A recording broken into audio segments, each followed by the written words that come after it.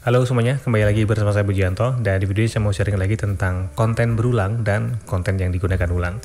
Ya, saya sudah beberapa kali bahas tentang konten berulang atau konten yang digunakan ulang ini, tapi ada salah satu video yang membahas tentang konten berulang atau solusi untuk menyelesaikan masalah konten berulang itu. Yang sampai dengan saat video ini dibuat masih ada banyak penontonnya.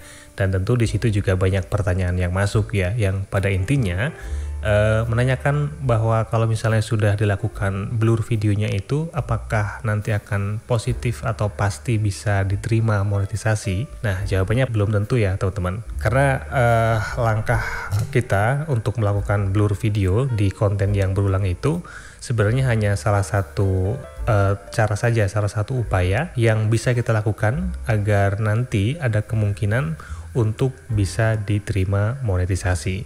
Jadi bukan jaminan pasti diterima. Karena ada banyak banget aturannya yang saya sendiri juga nggak paham seluruhnya yang menentukan apakah itu nanti termasuk konten berulang atau konten yang digunakan ulang itu kewenangannya dari tim uh, peninjau dari YouTube. Nah, kemudian yang akan saya bahas di sini adalah uh, solusinya ketika kita sudah tidak bisa lagi uh, ngotak-ngatik video tersebut gitu ya. Sudah di blur, sudah diganti audionya tapi masih ditolak monetisasi lagi karena masih termasuk konten berulang atau konten yang digunakan ulang. Nah, kalau teman-teman memang membuat video tersebut punya value, punya nilai yang bermanfaat untuk orang lain, kemudian bisa mendatangkan subscriber, bisa mendatangkan penonton setia, maka sebenarnya ada banyak cara untuk bisa mendapatkan uang dari video yang sudah kita buat. Jadi buat teman-teman yang baru akan mulai membangun channel YouTube, mulai dipikirkan dari awal bahwa untuk mendapatkan uang dari YouTube itu bukan hanya dari bergabung di YouTube Partner Program atau dari Google AdSense Nah, mendapatkan uang dari YouTube Partner Program atau dari iklan yang nempel di video kita itu adalah hanya salah satunya ya, salah satu cara. Di luar itu ada banyak banget cara lain untuk mendapatkan uang dari video yang kita upload di YouTube. Tapi untuk bisa mencapai hal itu, untuk kita bisa punya banyak cara mendapatkan penghasilan dari YouTube itu, tentu konten yang kita buat juga harus berkualitas nih teman-teman. Jadi harus punya nilai, harus uh, bisa mendatangkan penonton yang setia dan pada akhirnya nanti kita bisa melakukan uh, penjualan misalnya atau kita bisa menawarkan sesuatu yang sesuai dengan penonton kita dan itu yang nanti akan bisa kita jadikan sumber penghasilan dari video kita. Jadi sebenarnya orang membangun channel YouTube itu kan ada banyak banget tujuannya ya. Nah, kalau misalnya contohnya itu ada banyak eh, orang-orang uh, yang membangun channel YouTube, tapi tujuannya bukan semata-mata hanya ingin bergabung di YouTube Partner Program. Nah, contohnya saya membangun channel YouTube ini ya dengan nama saya sendiri ya. Ini sebenarnya bukan semata-mata hanya ingin mendapatkan penghasilan dari YouTube Partner Program. Karena uh, saya sendiri sudah menjalankan uh, sebagai freelancer uh, jasa pembuatan website sejak tahun 2014. Tapi memang saya belum aktif di media sosial sebagai media untuk personal branding gitu ya. Jadi baru di channel YouTube ini saya membangun uh, personal branding, saya membuat tutorial, saya mau menampilkan diri saya. Kemudian di situ saya bisa melakukan penjualan jasa. Walaupun saya nggak membahas tentang website gitu ya, saya membahasnya tentang YouTube. Kemudian di salah satu video saya menawarkan jasa pembuatan website itu terbukti teman-teman ya. Dari video tersebut saya bisa mendapatkan beberapa order dalam beberapa bulan terakhir ini. Nah kalau teman-teman mungkin perhatikan beberapa bulan terakhir ini saya jarang upload video ya. Itu sebenarnya saya mulai kewalahan yang membagi waktunya. Karena saya mengerjakan pekerjaan uh, pembuatan website kemudian saya harus membuat video. Kadang-kadang ketika lagi fokus untuk membuat website itu saya nggak punya waktu lagi untuk membuat konten gitu. Nah ketika kita punya tujuan lain atau punya cara lain untuk mendapatkan penghasilan dari video di channel YouTube kita maka sebenarnya kita nggak perlu pusing masalah konten berulang atau konten yang digunakan ulang bahkan masalah hak cipta misalnya masalah lagu gitu. Contohnya saya lihat beberapa channel ya yang membahas tentang sound system membahas tentang audio ya ada beberapa channel ya yang saya temukan itu mereview tentang uh, peralatan sound system. Mereview tentang uh, sound system tentunya dengan cek sound. Mereka menggunakan lagu yang berhak cipta. Itu nggak ada masalah bagi mereka karena mereka tidak hanya mengejar untuk dimonetisasi atau bergabung di YouTube Partner Program. Nah, lalu mengapa mereka mengabaikan masalah hak cipta, masalah konten berulang mungkin ya?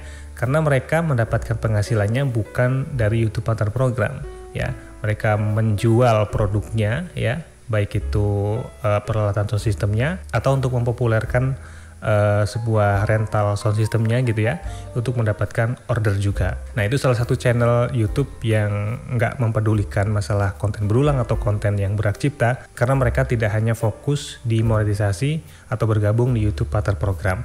Mereka bisa mendapatkan penghasilan dari cara lain yaitu menjual produknya langsung ke penontonnya. Nah, sampai di sini mungkin teman-teman sudah punya gambaran ya bagaimana cara mendapatkan uang dari video yang kita upload di YouTube ya tanpa harus bergabung di YouTube Partner Program, tentunya tanpa harus mempedulikan masalah konten berulang atau konten yang digunakan ulang. Nah, tapi tentunya ada salah satu kunci yang teman-teman harus pahami untuk kita bisa mendapatkan penghasilan di luar uh, bergabung ke YouTube Partner Program, yaitu kita bisa mendatangkan penonton yang setia kita bisa menemukan orang-orang yang dalam karakteristik tertentu gitu ya. Misalnya tadi orang-orang yang suka dengan sound system gitu ya, itu bisa uh, terkumpul dalam satu channel YouTube kita. Kemudian nanti kita bisa menjual produk yang sesuai dengan mereka atau kalau mungkin nggak bisa spesifik uh, mengumpulkan orang dengan kategori tertentu, kita bisa menjual produk atau layanan yang bersifat umum yang banyak orang membutuhkan. Nah, misalnya saya menjual atau memasarkan jasa pembuatan website gitu ya. Orang-orang yang perlu website ini kan jangkauannya luas. Jadi uh, misalnya yang awalnya belajar membangun channel YouTube, uh, saya berbagi tentang tutorial channel YouTube, kemudian perlu membangun website, itu juga ada orang-orang yang tadinya belajar tentang periklanan, misalnya tentang Google Ads, tentang Facebook Ads, kemudian membutuhkan website juga ada.